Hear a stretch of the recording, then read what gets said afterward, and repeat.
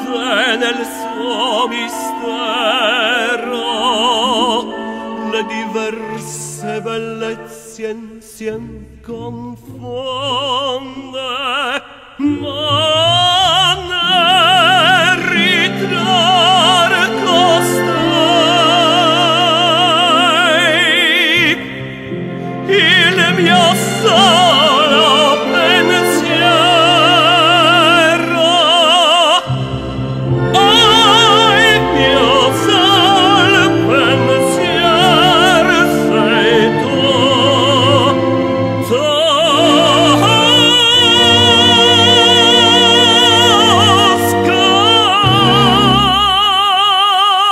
Awesome!